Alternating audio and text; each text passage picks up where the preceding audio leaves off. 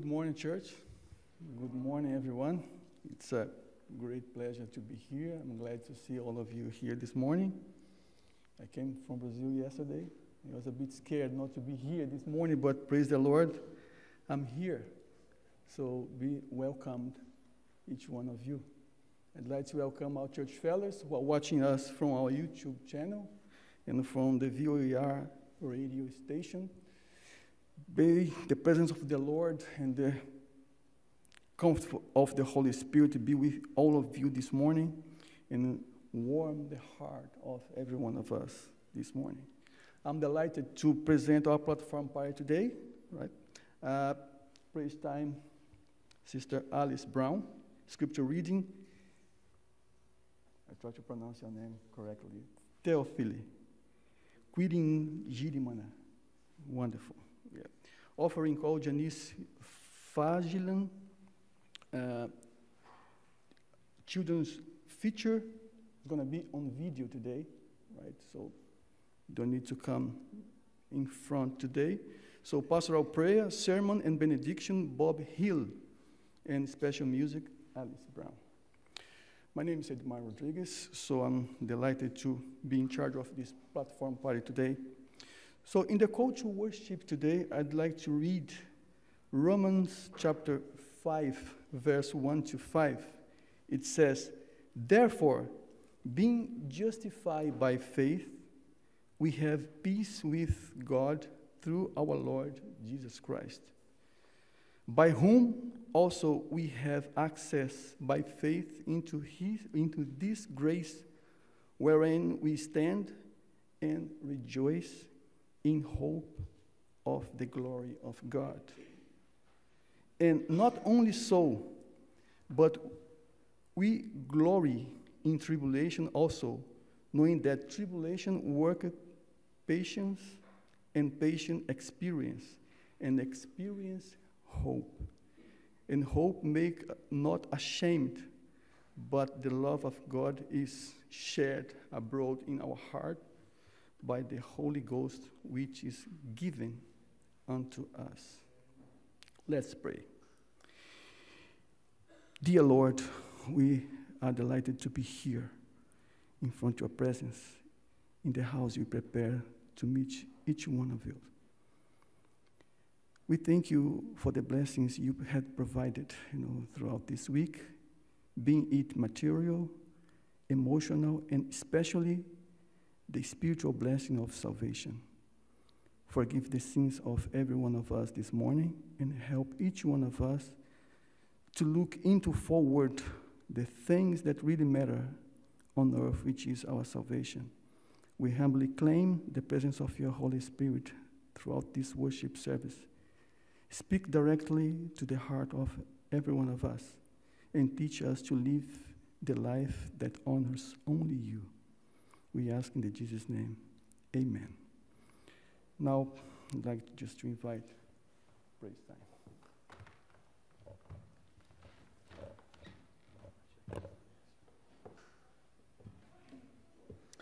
David said, I was glad when they said unto me, Let us go into the house of the Lord. It's wonderful to be in Father's house this morning, and it's always Beautiful to be here to sing his praise, and we offer up our voices of praise unto him this morning. And we're going to start with hymn number 469, Leaning on the Everlasting Arms.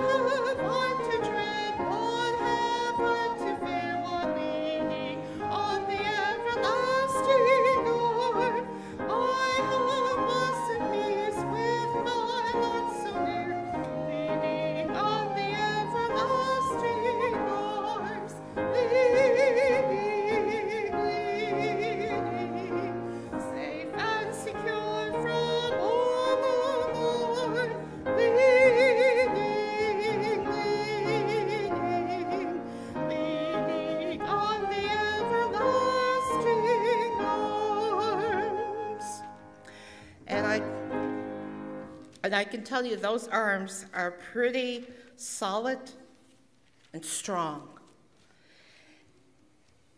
We're going to change the tempo a little bit, but not much. Um, this next hymn that we're going to sing, I remember as a little girl hearing my mom singing this one morning as she was going around doing her housework. And uh, it's kind of stuck with me over the years. It's number 369, Bringing in the Sheaves. And that's what we're going to sing, number 369.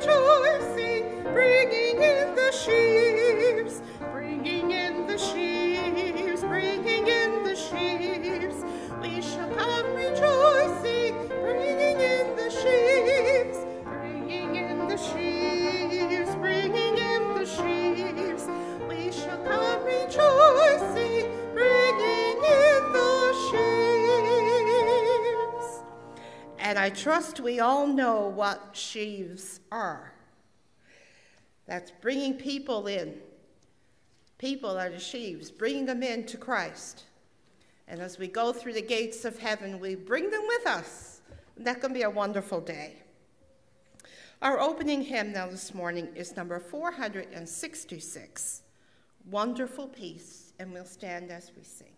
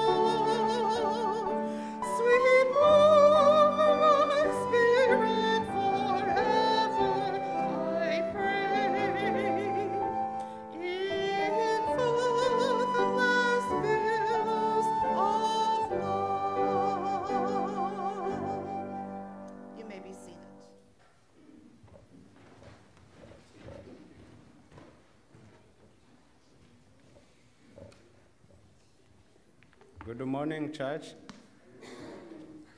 We open our Bible and read our scripture reading.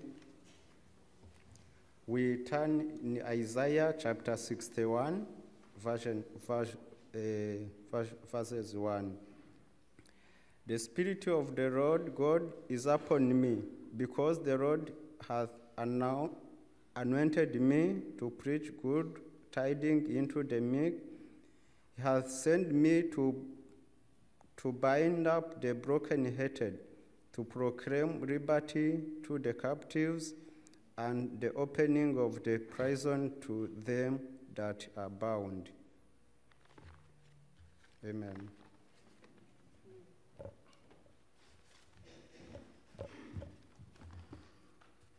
Good morning and happy Sabbath, everyone. For our offering this morning is for local church budget. You have at, at your control the power to increase or decrease your love for God. The same you can be said about the love for this church. You have the power to increase or decrease your love for it. How?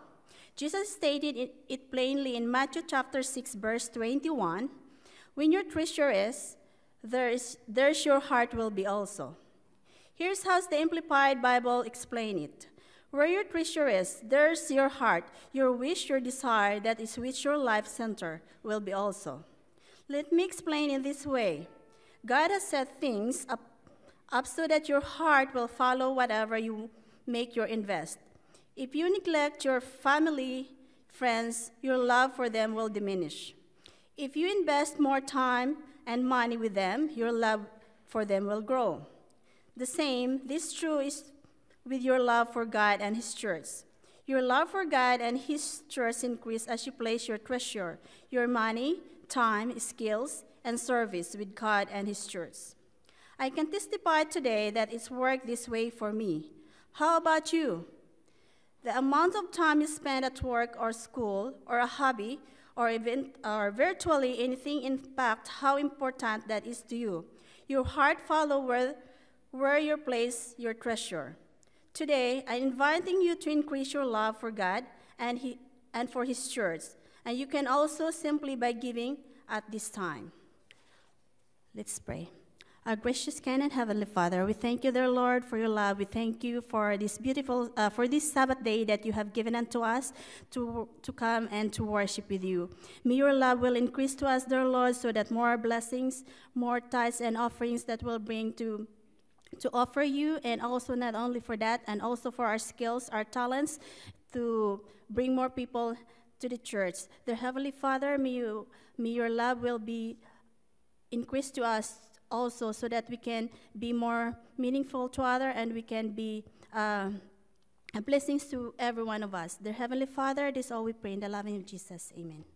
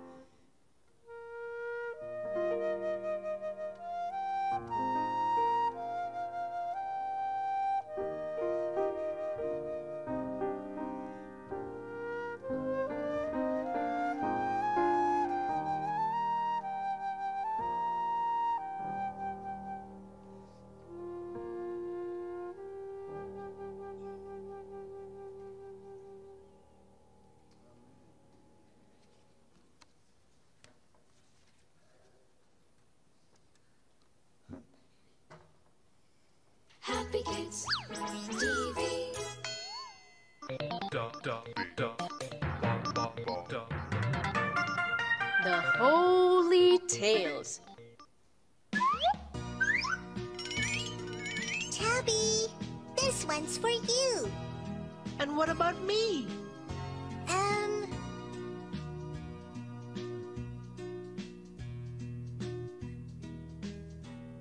What's the matter, Gumbo? Freckles loves Tubby more than she loves me. She hates me. You didn't get a lollipop for Gumbo? Um, I got Emily too. I gave one to Tubby and kept one for myself. I see. Let me tell you the story of Emily. There lived a young girl called Carol. She was six years old and a very popular girl in school. She was friendly and sweet, and everyone wanted to be friends with her. One day, a new girl called Emily came into Carol's class. She was a quiet and shy little girl. She went and sat all by herself in the last row. Carol, who was sitting in the front row, turned back at Emily and smiled to make her feel comfortable. Emily smiled back at her, a little hesitant. The teacher entered the class and began teaching. Soon the bell rang and it was lunch break. All the children got up and ran out into the garden to play, except Emily. Carol was about to leave the classroom and she looked back and saw Emily sitting all alone, looking out of the window. Carol went up to her and said, Hey, why don't you come and join us? It's fun during the breaks. We all play together. Come. Emily didn't know if she really wanted to go out and play with the others. She was feeling very shy in her new school. But Carol would not leave her alone. She pulled Emily by her hand and ran out of the classroom. She took her out into the garden and brought her to her other friends. Look, we have a new friend. Everyone, meet Emily. Emily, these are my friends. Emily smiled shyly. There was one boy in the group who did not smile back at Emily. He said, No, I'm not going to play with her. I am not playing if she's playing with us. Saying this, he stomped off. Emily started crying and she ran away from everyone. Carol was angry with Tim for his rude behavior, so she made a plan and discussed it with her other friends. Next day, after class, Carol went out to play with her friends. They took Emily with them too. But this time, they did not take Tim along with them. Tim sat all by himself and watched everyone playing together and having fun. He felt really bad. He thought to himself, That's okay. They'll want me to play with them tomorrow. The next day, the same thing happened. Emily, Carol, and all of their other friends were playing together, this time too without Tim. Tim was very angry with Carol for leaving him out. He walked up to all of them and said, How can you all start playing without me? Now, do you realize how Emily must have felt when you chose not to play with her? Tim realized his fault. He apologized to Emily and they all started playing together happily. So, it is never a good feeling if people don't choose you. We should always love everyone the same way. I am sorry, Gumbo. I didn't want to hurt you. You can take mine for now. And I promise to get you another one the next time. Take mine, Gumbo. We're really very sorry. Take both the lollipops. That was a nice moral story, wasn't it? Hope you liked it. We'll be back soon. Bye bye.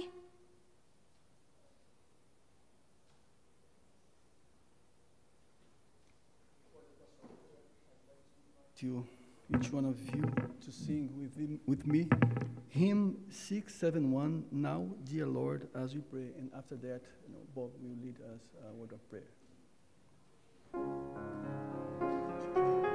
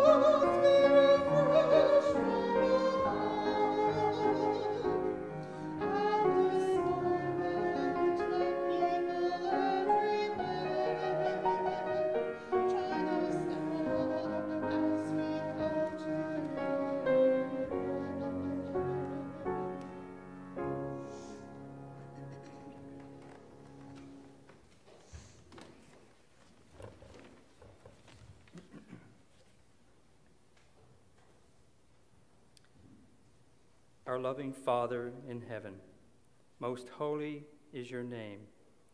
You are worthy of all honor, glory, and praise. With a word, you created the universe, and you alone guide it in its course. We submit ourselves to you, Father, as we seek refuge from the world in your Sabbath rest today. We try, Lord, to direct our eyes towards heaven each day and fall a little short, sometimes distracted by the pace and direction of this world. We seek your mercy and your understanding. Give us the courage to be still, to know that you are our God, to hear your voice amidst the noise, and to faithfully follow you. Teach us to be open to your Holy Spirit. Show us how we are to follow the Lamb your Son Jesus wherever he goes, and to do so boldly with unyielding faith. Be with us today, Lord, as we seek you and long to personally and collectively encounter you as we come together in worship. We are in your loving hands, Father, and trust in your divine guidance and peace. Bless those who are struggling with illness, whether physical, emotional, or spiritual, and help them, Lord, find comfort, patience, and peace. We pray this in the name of Jesus. Amen.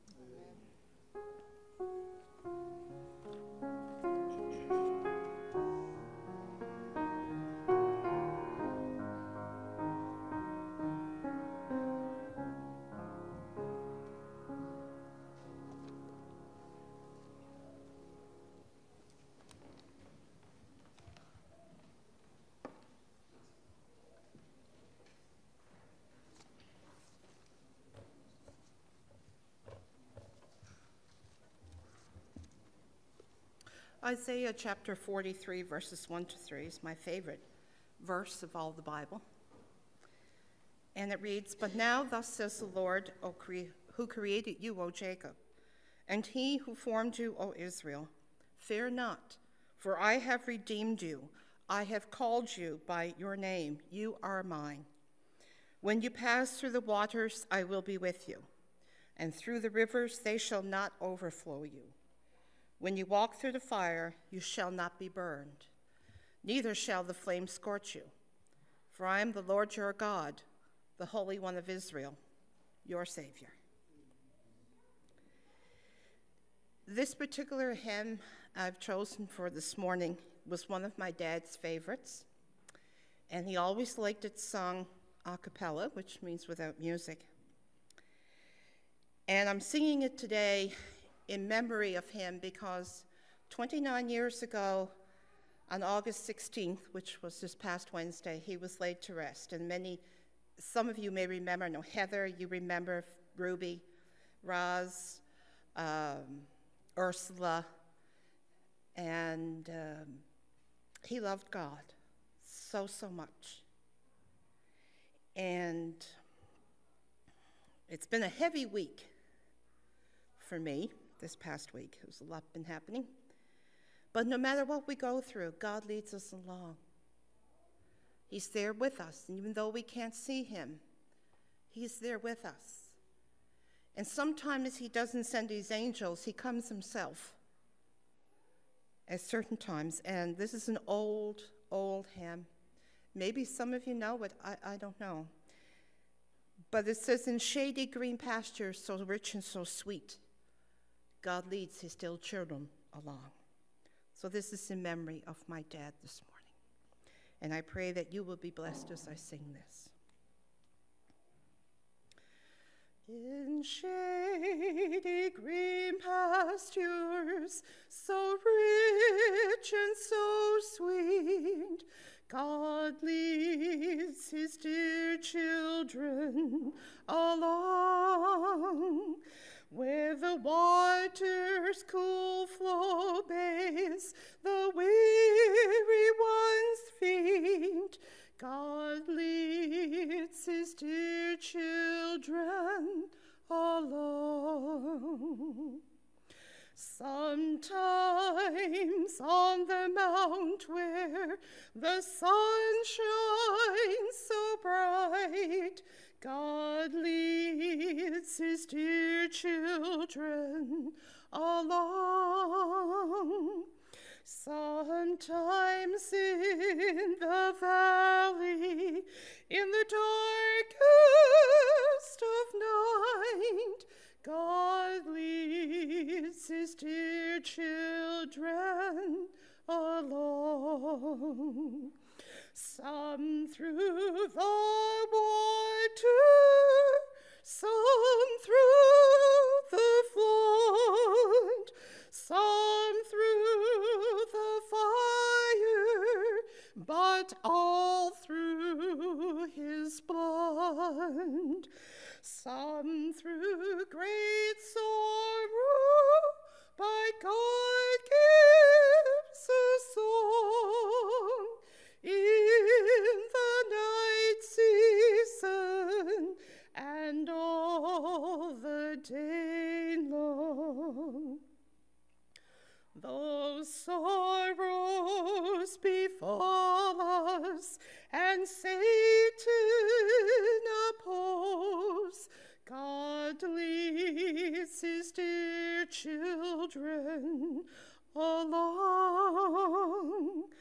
Through grace we can conquer, defeat all our foes. God leads his dear children along. Away from the mire and away from the scots clay, God leads his dear children along. Away up in glory, eternity stay. God leads his dear children along. Some through the waters, and some through the flood, some through the fire, but all through his blood. Some through great sorrow, by God gives the song. In the night season and all the day long.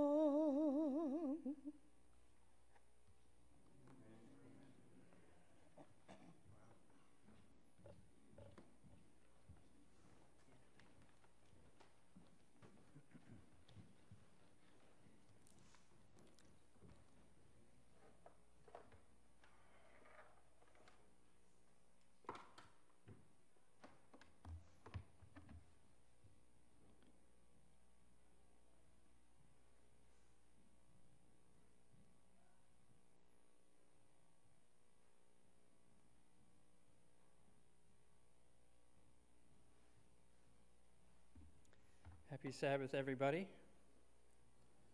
I'm just going to get set up here now.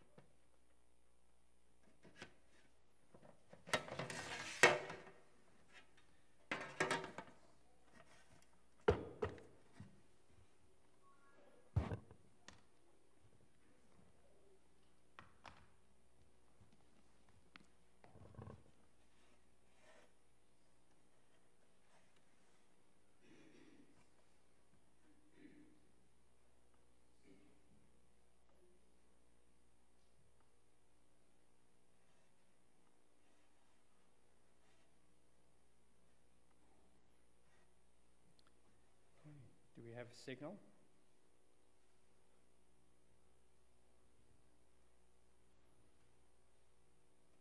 Good. Okay.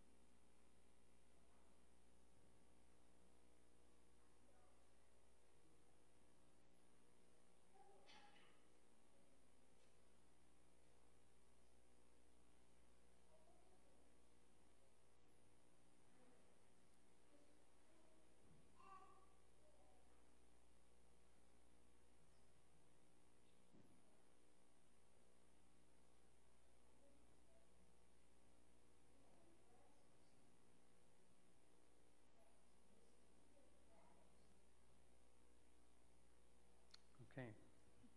Should be projecting, but we're not, all right? Do you, you want to have a look? Yeah. Since you, we were both using this, so I don't know, uh, should be projecting. I'd like to have the slides if that's possible. So.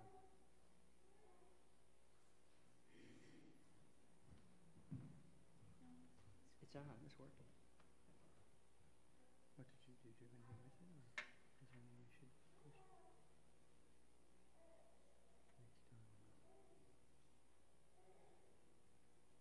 Oh, no. Yeah, it should be. Oh, it is, okay, good. Perfect. We don't want that one. Where's the presenting one?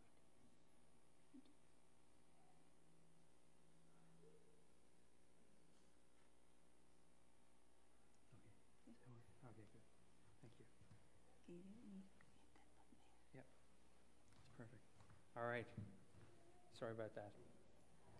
I think it might be easier to give the slides ahead of time and then have, have the man who knows what he's doing load them. Anyway, here I am. Here we are. Welcome, happy Sabbath, and uh, I want to thank everybody. That was a beautiful song, Alice. Truly touching, special music, and it's calming, gets gets me ready. I do not get up and, and uh, preach every day. And I want to thank uh, Catherine for a well done Sabbath school. Uh, also for Edmar for leading us out uh, on our call to worship. Thanks, uh, Theo, for reading the, uh, from Isaiah 61:1, and Janice for the offering call to the deacons for, for collecting the offering, which keeps our church going. And thank you for, for contributing. Um, the music today was, was beautiful. Uh, Alina, Alina, thank you. Great addition to our church. Awesome addition. Thank you. And I want to thank everybody uh, for joining us today, either in person or whether you're on YouTube or Zoom. Thank you. Um, we appreciate it. So, while preparing for the sermon this morning, I re- was reminded of my father, my dad. Uh, he and I were on our way home uh, one supper evening from his work. So I would go from school, walk to, you know about a half kilometer or so, get to his work, and we would go home at about six o'clock. And by then I was usually pretty hungry. And I recall that particular night I was starving. And he began to recite the Beatitudes. He was a devout Christian man, and so he, he was driving along. Blessed are the poor, the mournful, the meek, etc. And he asked, Do you know the Beatitudes? And I really, I was 10 at the time, so I had heard of them, probably learned them at some point, but didn't know them really well. And he said, Well, do you know any one of them? And I, I was so hungry. I said, Well, blessed, blessed are the, those that hunger. And that was a good, I remembered that one. And so that worked out great. And, uh, you know, in retrospect, he probably brought them up because I wasn't patient while we were waiting to go home. I think that's probably where that came from. He was trying to teach me a lesson. My father was like that. He wasn't confrontational, he was a beautiful man. Well, anyway, flash forward to today, and I, I know them a little better. That's what we're going to have our sermon on today.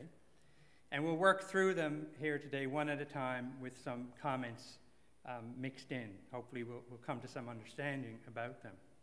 So, there are traditionally nine Beatitudes from Jesus' Sermon on the Mount. Now, some pastors, when you, when you hear them preach, will talk on eight. And I think this is because eighth and ninth are quite similar. They have to do with persecution. Um, but one's in the third and one's in the second person. They're different, and we'll see that. Um, but they're similar enough, I guess, that they combine them. So um, we'll walk through them tonight and nail down what it is Jesus was trying to tell us. Or today, sorry, not tonight.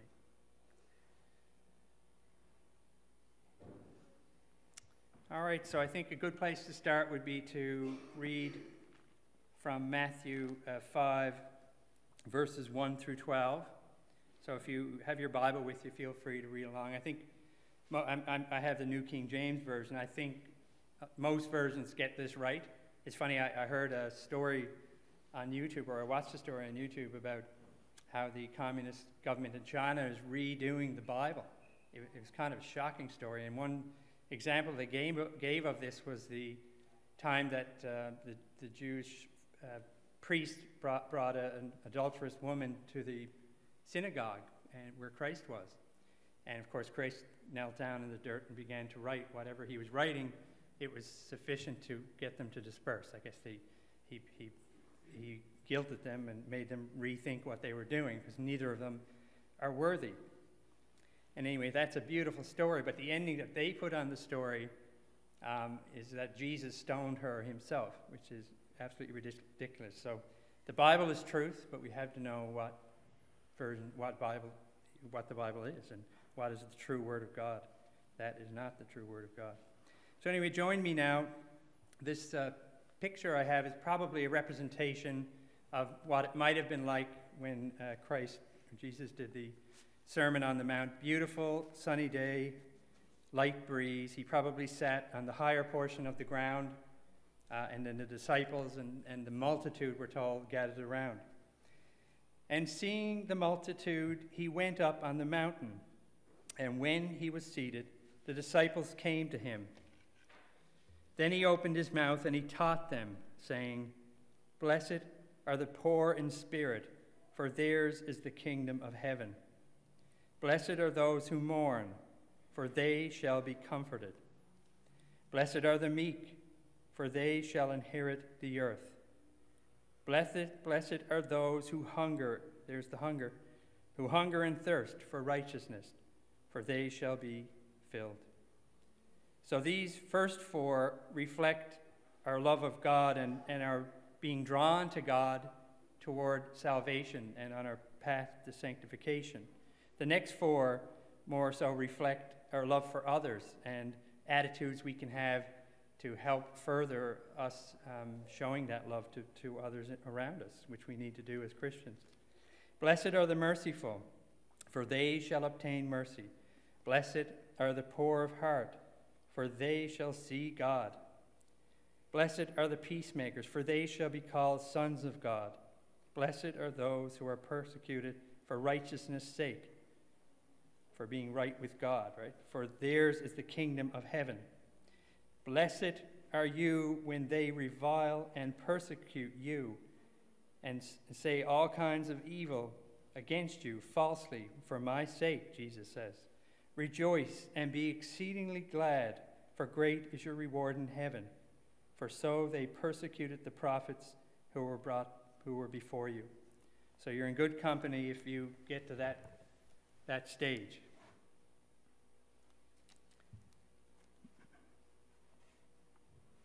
So here they are in um, pictorial form. But before I begin, or sorry, continue, uh, I'm just going to bow my head in prayer. Maybe you could join me. Gracious Father, your Sabbath day is a day set aside, sanctified, and made holy by you. One beautiful day a week of total rest in you, our Creator and our Redeemer. We ask that the Holy Spirit be with us today as we praise you and explore your character through your Son Jesus as we recall his words from the Sermon on the Mount. May my words be acceptable to you, and may my words be yours, Father. Please guide me. Your will, not ours, be done. In Jesus' name I pray. Amen.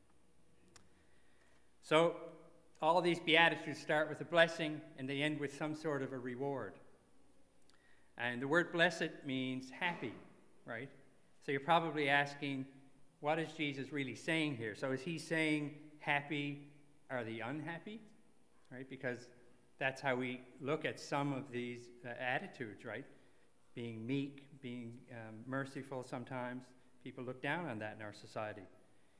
And in fact, the Pharisees who may have been there and actually listening, they probably stood in the back. They didn't want to get too close to show that they actually were interested. But they were far enough away back not to be associated with Christ, but close enough, I would guess, so that people see their head shaking and their finger wagging and their disappointing glances.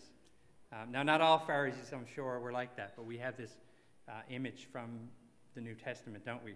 I'm sure they weren't all like that. I'm sure many came to Christ and loved him and many will, I pray, or everybody in the world. Well, it turns out if we listen to Jesus' words as if spoken by God, because he is God, keep that in mind as we go through this.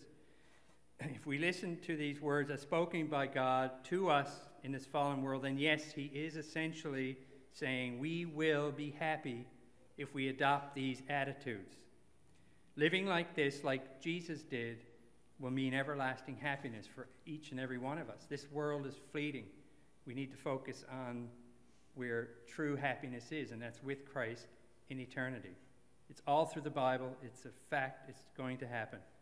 Now, this is a tough sell, perhaps, to people in the world, you know, with both feet firmly on the, on the world or in the world. But it's quite intriguing, I think, for us who are seeking spiritual richness in Jesus and in God um, so these are a guide of sorts. That's how I, I look at them, how they are to be taken.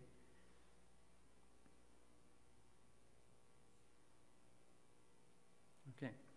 So from our reading today, we saw that Jesus read, uh, we saw Jesus read or heard of Jesus reading from the book of Isaiah, chapter 61, verse 1, and in his hometown.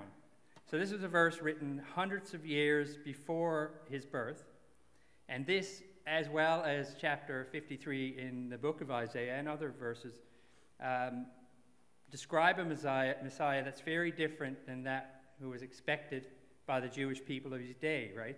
The, the suffering servant Messiah, the, the humble healer. That's Christ's true nature, isn't it? But the Jewish people had been enslaved by Babylon, Medo Persia, then conquered by Greece, and then by Rome, so they, they were fed up, right? And we all know these stories from the book of Daniel, or this history from the book of Daniel, and also from our history books. The two coincide. The Bible is truth, predicts um, history and is consistent with it. Or I should say, the history is consistent with the Bible, which is the Word of God. So they said, the Jews said, This is enough, right? We've had it, right? And they completely overlooked the suffering servant and they went straight for the conquering king stuff right? They wanted a Savior who was going to come and release them from their bondage to other people in this world. But that's not, well, while Jesus was doing, going to do that or is doing that, it was in a very different way than they had anticipated, right? So they had missed the significance of Daniel's 70 week prophecy, which perfectly predicted Jesus' coming, his anointing, and his death, right? They weren't ready. Rather than let the Bible speak truth to them, the Jews of Jesus' day focused their hope on the conquering Messiah. They weren't ready for Jesus' first coming. They wanted to throw him off a cliff, as you recall um, when he read from Isaiah 61:1. And that was in his hometown, no less. Can you imagine? What a, what a welcoming. So, do we let the Bible speak its truth to us today? Or are we in a similar boat. You know, we, we certainly try not to be, right? Are we any more ready to receive Jesus when he comes again the next time?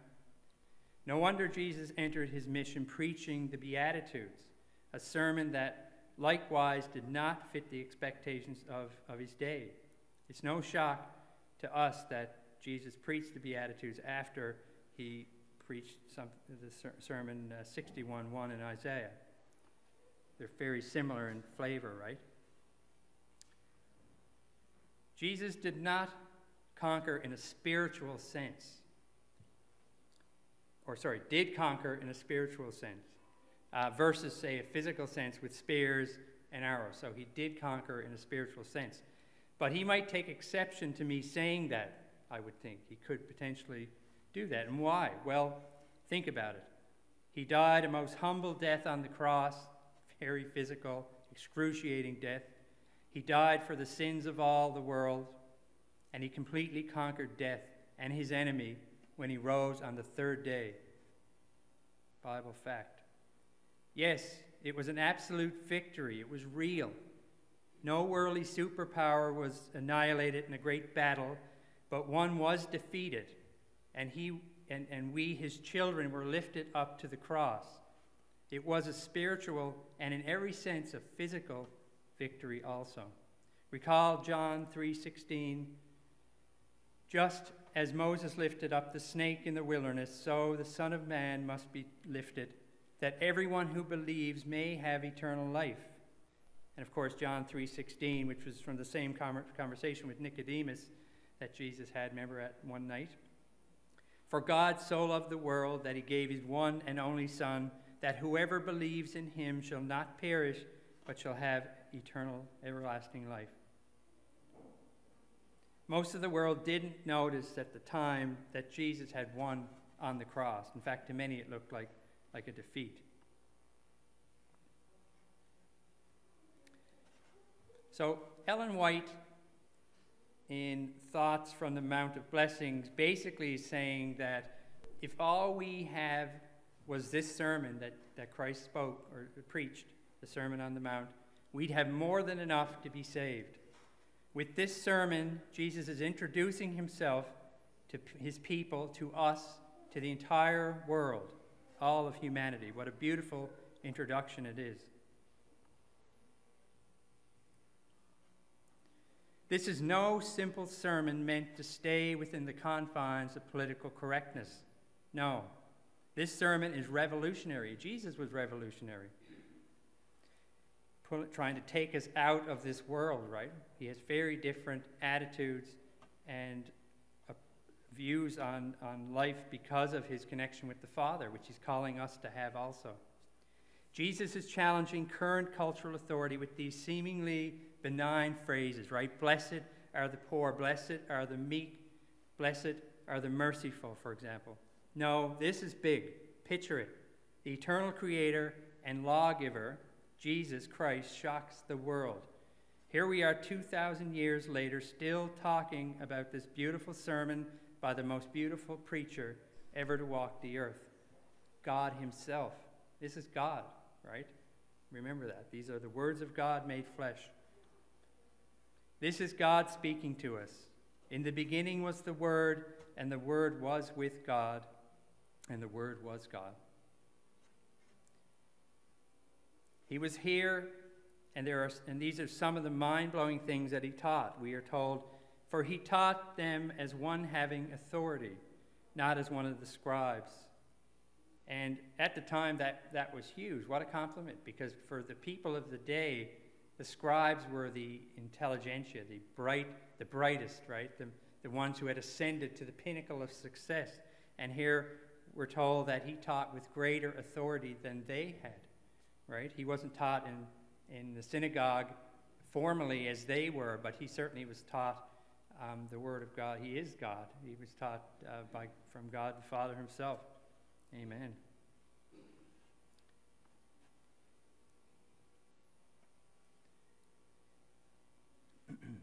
so, what is God telling us here with these Beatitudes? It seems to me it just might be important important to us who navigate this fallen world, and we forget that sometimes. All right, we're, we're in this world of deception. This isn't reality in, in a godly sense, right? This is just the path we are on since the fall in Eden. And this is a way Christ is beckoning us to the finish line to be with Him, right? He gives us a set of attitudes here or principles reflecting His own character principles we will develop in our walk with Him as we go through that sanctification process. The Pharisees, the religious leaders, taught that one must work his way to God and that they were the pinnacle of this ascent. Just look at us, they would exclaim. You know, not all of them again, I don't want to make that point. Um, but they looked down on poverty and illness as sins against God and uncleanliness. They look down on the, the lowly in spirit, those humble who lack greatness, worldly greatness. Does that sound familiar? It certainly does to me. We hear that all the time today. We have the, the world preaches the exact same values.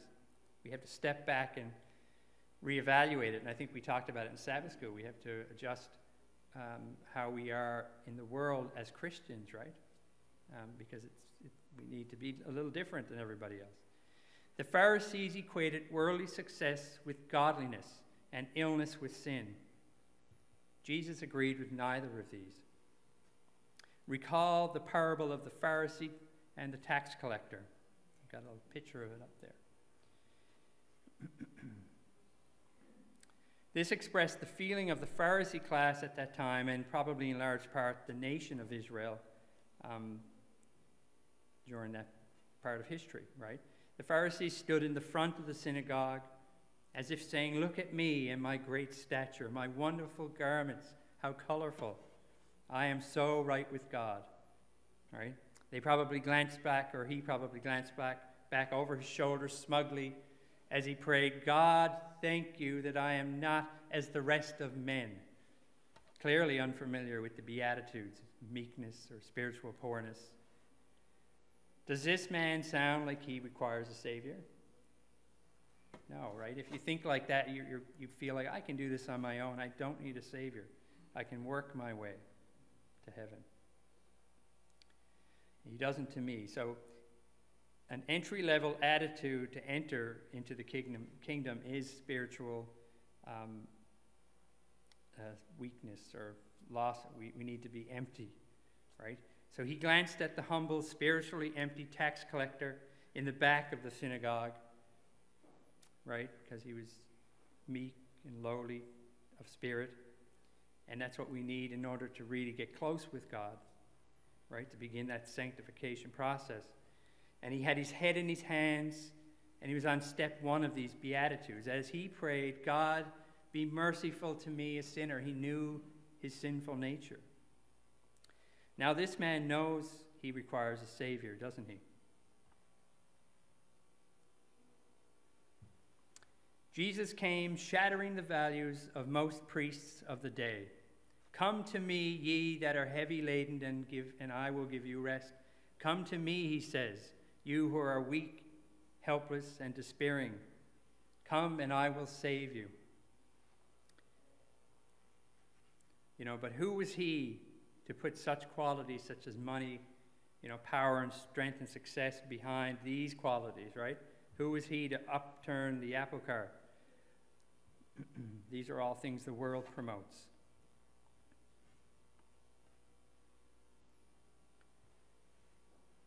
I kind of like this picture. Um, so Jesus broke down the myths of his time, right? For example, in Luke 5:12, he touched the leper breaking all social norms, showing that the leprous man was not bad, he wasn't immoral, not wicked, but in need of healing, as we all are, in other in different ways perhaps. Although there is an outbreak of uh, leprosy in Florida, I heard, so maybe there's some lepers around. But in need of healing. So in Jesus' purity, he could offer this healing to that man. He didn't even have to touch him. Jesus could have made this happen with no contact at all because he's God, right? He could have sat in Capernaum with feet up at Peter's house and healed every leper that walked the earth. But what would be the point of that, right? They need to be drawn to the Savior and to God, and that's what Jesus did. He broke down these barriers that kept other people away from these sick individuals, whether you're spiritually sick or whether you're physically sick. And the leopard said, I know you can heal me if you are willing. He too was breaking social norms by approaching Christ, right? what an act of faith. And in fact, most of the healings, right, we need to see an act of faith from the healed um, to accept Christ and accept that He is capable of this and that He is God. And because the lepers at the time had to be outside the city, and whenever someone approached, they had to, you know, alert them. They had to say, I'm unclean, I'm unclean, I'm unclean, stay away. Like, can you imagine the humiliation? You're sick, and then you have to do this. You know, you're alienated. I think you're looked after by people who knew you or through begging. It was awful.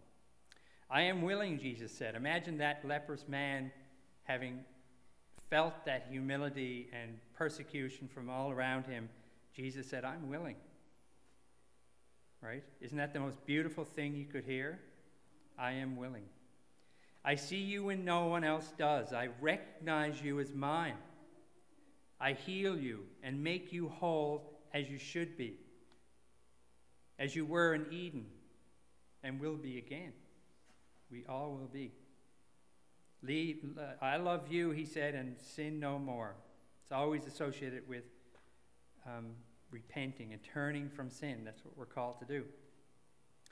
The Beatitudes talk about attitudes for salvation, and who better to tell us than the Messiah himself, right? The Son of God made flesh. Jesus is our mediator and our judge. So we can look at this sermon as a way to structure our lives to ready ourselves for the kingdom of God which he rules over. I don't know about you, but every time I see Jesus' words in the Bible, in a lot of Bibles they're red, not in mine, but they can be, I think you know, I, I, I, sit up and I take, I take notice and I think, well, what's Jesus trying to tell me here? And it's the true same with the Sermon on the Mount. He actually preached these words, right? well, the Sermon on the Mount, just before Christ picks his 12 apostles, can tell us a whole lot. Jesus had only months before been baptized, right, in the River Jordan by John, John the Baptist, and he began his ministry at that point, um, just as the 70 week prophecy had told us. So he's on a mission now, right, to save humanity. Maybe we should listen. Maybe what we need are these attitudes, right, to, to bring us to salvation. Blessed are the poor in spirit, the kingdom of heaven is theirs. How is being poor a blessing, you might ask? Don't some preachers tell us that, you know, we'll be financially blessed if we believe in Jesus? That's the whole um, there's a whole movement now where, where people are trying to get um, individuals into the church, promising them great money and wealth. That's not Jesus. Not that he can't do that. He certainly can. He did it for Job, right? He doubled his wealth or multi- multiplied it multiple times. But that's not the essence. That's not what should bring us into church, I guess I'm trying to say. So Jesus is contrasting this world with eternity, right?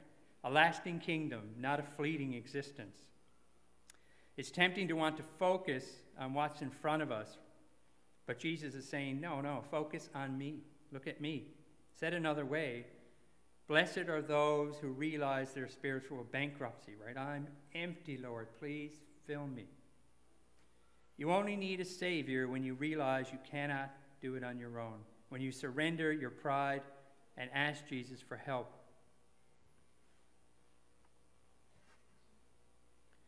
The people gathered on the hillside listening to the sermon from Jesus must have done a double take. Maybe they scratched their heads. Perhaps they asked a neighbor, they bumped the guy, said, you know, did, did I hear him right? You know, did he say, Blessed are the poor of spirit? But isn't it blessed are those who are great? Maybe at first this was quite confusing to people of Jesus' day. Recall in Luke 5, Peter sees the miracle of the fish. Jesus told him to cast his net after a night of failed fishing. He reluctantly did. He was tired. They were all tired. And they pulled up over 300 fish and tore their net, in fact. So Peter said, Depart from me, Lord, I'm a sinful man. He expected Christ to, to leave, but he didn't, right? He won't leave. We may leave him, but he will never leave us. Christ welcomed Peter's humility and acknowledgement that he was spiritually lost. That's what we all need to come to Christ with, with this attitude. This is the first step in the Beatitudes. Blessed are those who mourn, for they will be comforted. Again, what did he say, right? Mourners are blessed. But yes, Jesus says those who mourn will be comforted by him. Those who mourn over sin, whether their own or the sin around them and from others, society, Jesus will comfort us. Daniel in 9:20 says, "I went on praying, confessing my sins and the sins of my people Israel, and pleading with the Lord." This is mournfulness. God hears our disgust and frustration. He's disgusted too. He can't live with sin. This doesn't refer to worldly mourning, though. For example, if you have disappointment over a failed ambition or aspiration to power or desire for gain, right? These are not what are referred to in these Beatitudes. Grief over these are not really what the Beatitudes reflect. Despair for these reasons can lead to spiritual lows, lack of will to live, and even suicide in the extreme. This does not reflect God's character. He's calling us to focus on Him instead. Don't go down that path. Forget those things, they don't matter. We're not to be consumed by these things, but yes, it's difficult because we live here, we live in this world, and we have to survive. Jesus, however, is saying, Don't worry, just focus on me, not the world. Judas Iscariot is a great example of this. He betrayed Jesus for gain, for the 30 pieces of silver, and then he hung himself out of guilt. He should have kept his eyes on Christ, so he's an example of falling so far from so he was with Christ. Some mourning can be beneficial if it's accompanied by a firm basis in God, with faith and hope in Him. Jesus himself wept, you recall, over Lazarus, right? When he, I know, and he even took his time getting back, but he was still quite mournful over the loss of his friend. He was human in, in, on this earth. God made human. It's a tough concept, but that's, that's what it was. That's what he was. Jesus certainly knows the pain of loss and understands our losses in this world, and we all have them. It's, it's human. We all live and we all die. We watch others die. He is mourning with us. Blessed are those who hunger after and thirst after righteousness, for they shall be filled. Jesus hungered to do his Father's will. John 3, uh, sorry, 4, 3, 4. Jesus said to them, My food is to do the will of him who sent me and to finish his work. That was what Christ focused on. And he wants us to focus on the same thing, right? Follow God. We also, as Jesus, are to hunger and thirst as if starving sometimes, and we want to be right with him.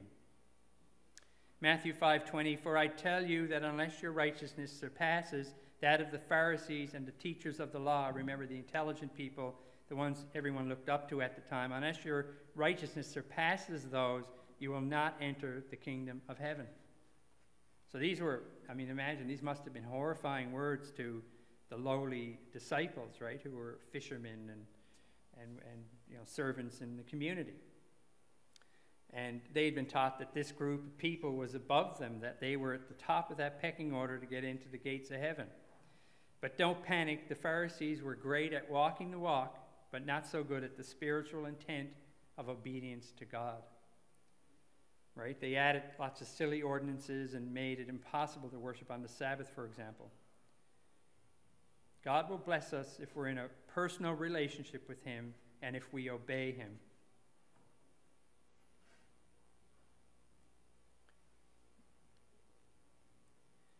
Blessed are those who show mercy, for mercy will be shown to them. No one has ever been as merciful as Christ, for God did not send his Son into the world to condemn it, but so that the world might be saved through him. I mean, when he comes again, it's going to be as a judging in judgment, uh, but he came to lead us through this haze of deception in this world, to get us back to Eden. Jesus, through the Beatitudes, is giving us principles or attitudes by which to live, by which to demonstrate in our lives the character of Jesus and God Himself. Didn't Jesus live these attitudes? Yes, He did. By living them, then, aren't we displaying the faith of Christ? And remember Revelation 14 12. Here is the patience of the saints. Here are those who keep the commandments of God and the faith of Jesus. These attitudes are part of the faith of Jesus. So, this is what we strive for. Blessed are the pure of heart, for they shall see God. This beatitude ties purity of heart with access to the kingdom of God and the prospect of actually seeing God. That's the reward attached to this blessing from the mouth of God, so you can believe it. So, what is this purity? Because we want it, right? I know I do. Who wouldn't jump at a chance to see God? Psalm 24, 3, 4 reflects this beatitude well. Who shall ascend into the hill? What hill? God's kingdom, right? Purity is the basic requirement for citizens of heaven. Do you get this point? Because it's, it's kind of important, right? We need to really cling to Jesus just as Jacob did on the night that they wrestled, right? Without Jesus, we have no hope of a pure heart. We can't do that on our own. I, I can, for sure. To get into his kingdom, we must not be vain but are wrapped up in ourselves. And perhaps the opposite of this is probably true also, right? We must be more wrapped up in other people. Nor sworn deceitfully, it goes on, right? Liars have no place in the kingdom. Do these things and receive blessings, God is saying. Proverb 4:23 Give us an idea what we must do. Guard your heart. It puts it goes on to say, put away from you deceitful mouth, again avoiding the lies, and put away perverse lips. There's no need for gossip or um, to speak in a way that probably Christ wouldn't. It goes on, let your eyes look straight ahead, ponder the path of your feet, remove your foot from evil. It takes a conscious effort to avoid pitfalls. Just as Peter focused on Christ, or didn't focus on Christ when he was attempting to walk on water on the Sea of Galilee, remember he sank? If, he would, if we are to focus on Christ, maybe that will keep us afloat in this world.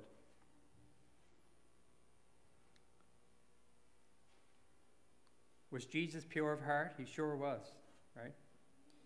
And we, we are called by faith to walk with him in the Holy Spirit to attain his character, which we are incapable of attaining ourselves.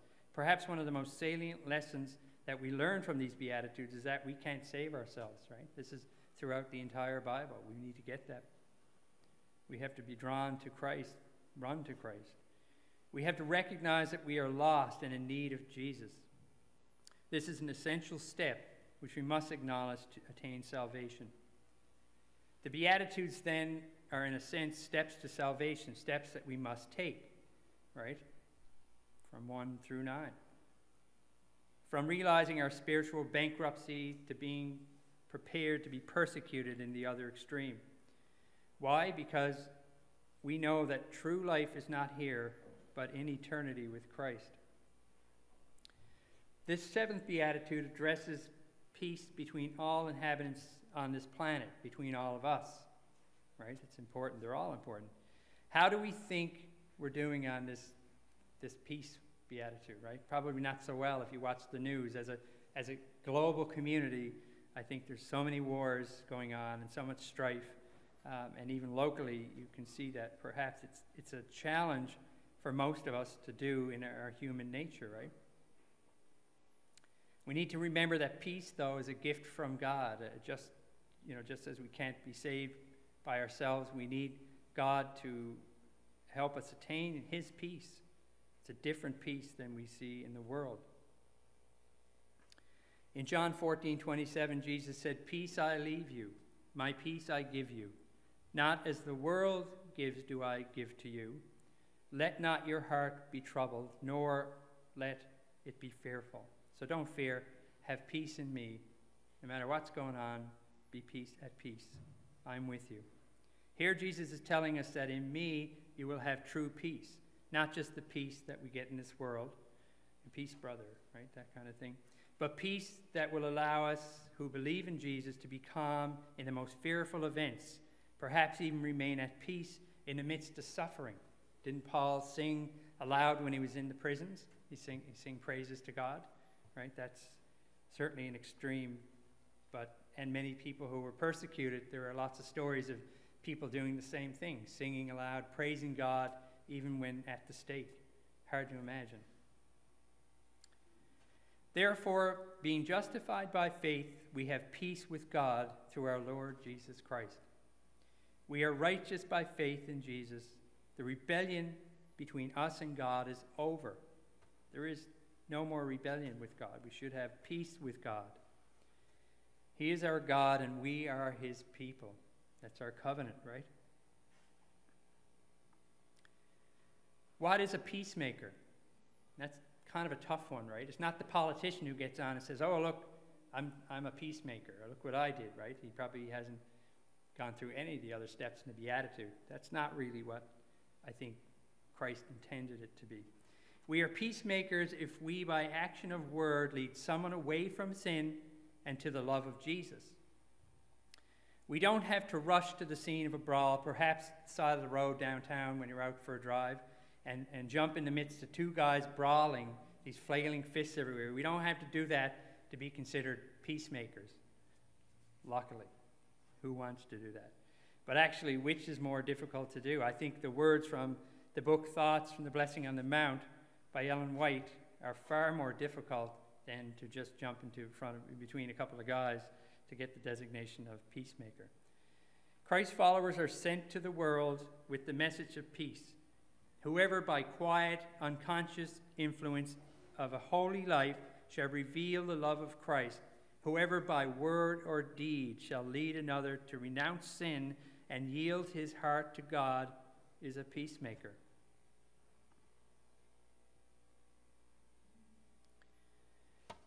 What I think this is saying is that we have to have a character of peace and live this in an unconscious way as we go through life. This, this, this character should be automatic for us, right, and draw others to us. These Beatitudes are a direct rebuke to Satan. This is Jesus saying to him, You are nothing like me in my church. Jesus is saying, Your time grows short. These are these and the law of God, right? The commandments are a safety rope through the storm. That's how I see it. Right? These attitudes are a reflection of the character of God and they are a reflection of Jesus and his character. Who is God? Didn't he say, I and the Father are one? He did. No, this is not some quaint sermon by Jesus, but a message directly from the mouth of God made flesh to guide us out of the world soaked in sin. It was a massive shock to the people of his day, and it's a shock to us today if we have our feet planted in the world, right? I mean, spiritually away from God. It would be quite a shock. We all thought we had it figured out. We are to work hard to get ahead however we can, and we are to be winners, not weak, right? Isn't that what society emphasizes? It sure does. No, none of this matters to God. He wants us to recognize our natures, come to Jesus with repentant and contrite hearts, to let go of all pride and surrender ourselves to Him, to the kingdom of God in every way. And when we do this, have the attitude showing we are lowly poor spirit, mournful of the world's sin and our own, humble as Christ is humble, seeking his righteousness, merciful to others as Jesus was merciful to others, turning the cheek literally, as he goes on to say actually uh, just after this. Peace, peaceful and peacemakers, right? Ignoring things that normally tick us off. Tough to do, but we need to remember this to rein it in, right? We need to walk with Christ and develop these attitudes.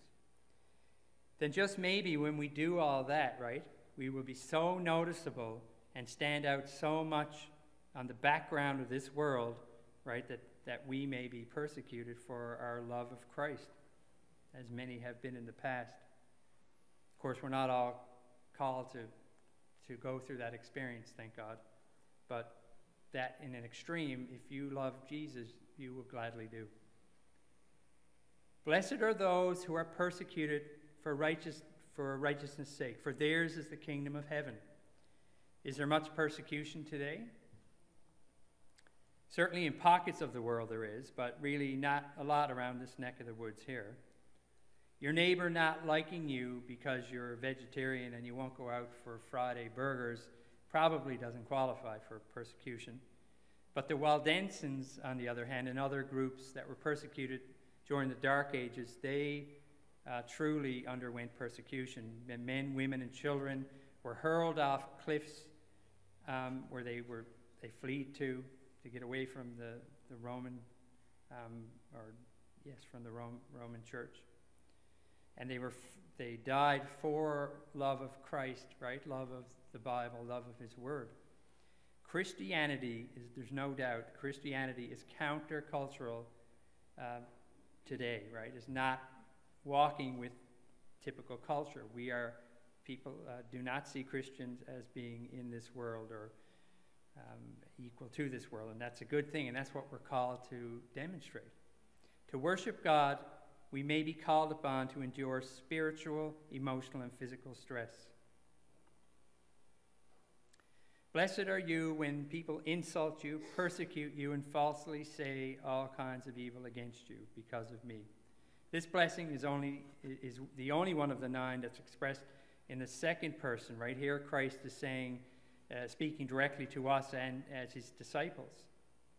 And it gets better, right? Because Christ is saying, with this blessing, the reward um, uh, will be that we will uh, be great in, in heaven. Our reward in heaven will be great. So um, that's the benefit of standing with Christ. There's not a lot of overt persecution in North America yet. And why not? Could it be that the son of perdition is actually happy with us? Is Laodicea lukewarm about their walk with Jesus? Are we too comfortable with our lives? You know, maybe we think, oh, this is way too hard.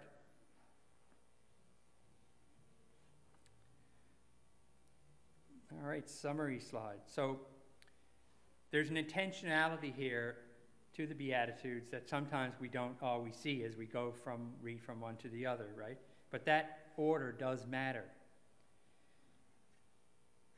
Before God, we are empty and we mourn sin. We, we humbly submit to God.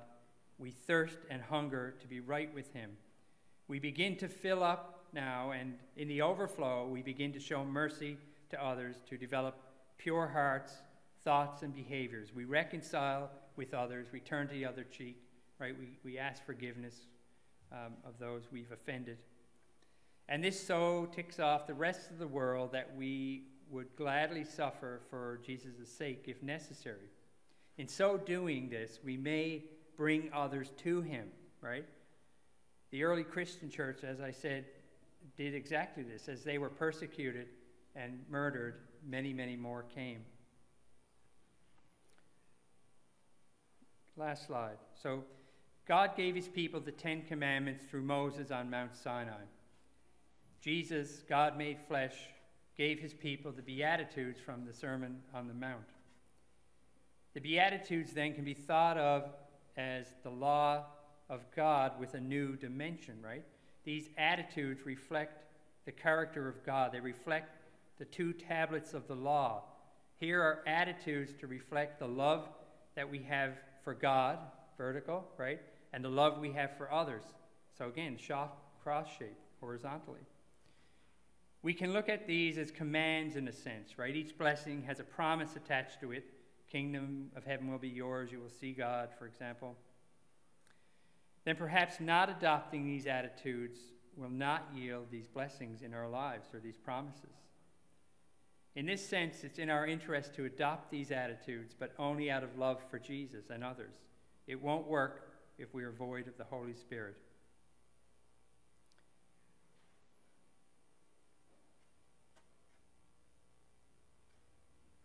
Let's pray. Father, your word is a lamp to my, our feet and a light to our path. Thank you that we have your truth and light to guide us.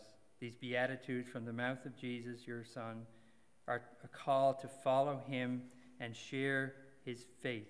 May these attitudes and words you shared today dwell in our hearts and move us to action. We ask this in Jesus' beautiful name. Amen.